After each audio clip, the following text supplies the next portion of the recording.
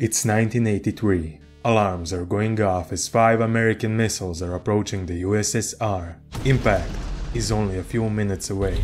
In that moment, the Kremlin has only 30 minutes to decide on pushing the red button that will initiate a nuclear response. Petrov, a commander in a top secret Russian spying facility, is about to make the hardest choice of his life.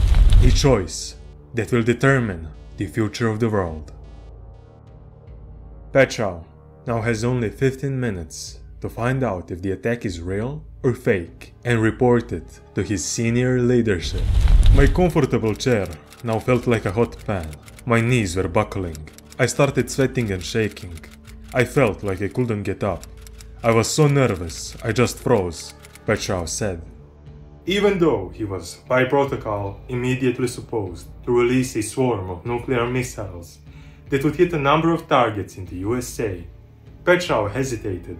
Everything was ready, but I didn't want to fire the missiles. It was clear that firing them would end the world as we know it. I decided to wait. Minutes passed, alarms were going off, and computers were indicating that American missiles were closer and closer to the USSR. The alarm shook the whole base, but I didn't fire our rockets, nor did I alert my higher command as they would have ordered me to fire. In situations like this, you can't rationally analyze.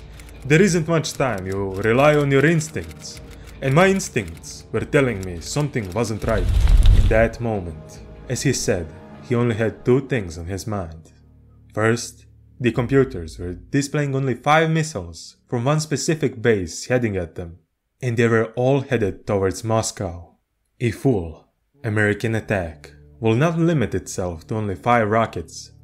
They surely would have wanted to cripple all Soviet military bases. And second, the computers didn't have a human brain, and it was possible for them to falsely flag the signals they were receiving as a nuclear attack.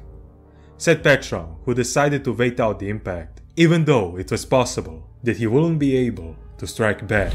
There was only one minute left. Petrov and his men were prepared for the worst, and then, as the final minute passed, nothing. Not a single explosion in Moscow. There wasn't a trace of an attack.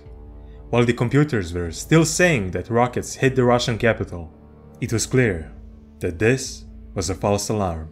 Petrov reported the incident to his senior leadership, and later investigations proved that Russian satellites malfunctioned because of a rare natural phenomena Petrov's fatal decision remained unknown to the public until 1991, when it was first published in the memoirs of a Russian general.